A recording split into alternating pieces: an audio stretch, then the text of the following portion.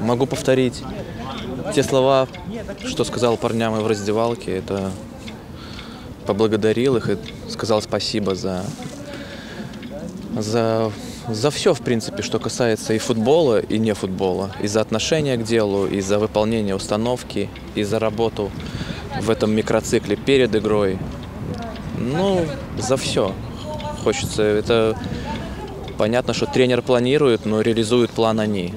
Они сегодня все сделали, и они молодцы. У «Шахтера» за весь матч один по-настоящему опасный момент. Э, Опять же, это ребята молодцы или «Шахтер» немного не так себя показал, может, как ожидали? Да нет, да Шахтер вообще хорошая команда.